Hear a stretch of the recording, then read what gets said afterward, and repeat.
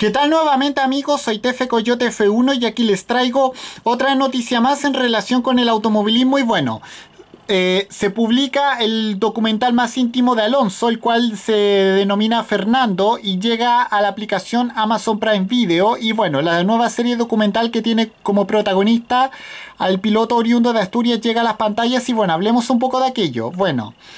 En exclusiva para España, Francia, Italia, Reino Unido y Latinoamérica, la nueva serie documental Fernando se estrena este mismo año en Amazon Prime Video, fortaleciendo así una oferta de contenido de deporte y motor cada vez más rica en, eh, para el operador digital. Bueno, eh, Fernando muestra la vida dentro y fuera de las carreras que ha llevado el campeón eh, español oriundo de Asturias durante el último año, incluyendo momentos tan significativos como su presencia a las 500 millas de Indianápolis o las 24 horas de, de Le Mans con suerte muy dispar como, como bien se sabe y hasta su sorprendente preparación para el Rally Dakar.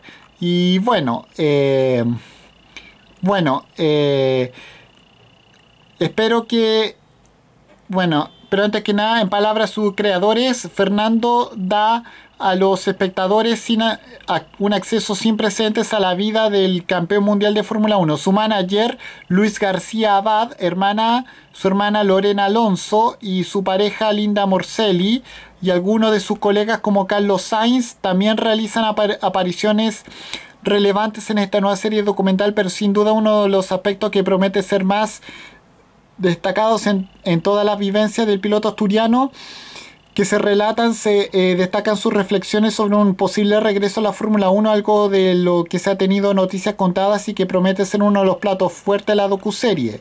Y bueno, eh, eh, en la misma línea, Javier Méndez, director de contenidos TD Media Pro Studio, hizo hincapié en la confianza de Fernando Alonso y su equipo deposita, depositada eh, por ellos la gente de la productora. Fernando mostrará al público una visión personal muy cercana al piloto, distinta del perfil habitual que se ha conocido hasta ahora. La serie permitirá compartir con, Fernando su momento de reflexión sobre su posible vuelta a la F1. Es un ganador y su reto durante este año ha sido demostrar que es el mejor conductor en cualquier vehículo de cuatro ruedas. Y bueno, con esto me despido. Adiós, que. Chao.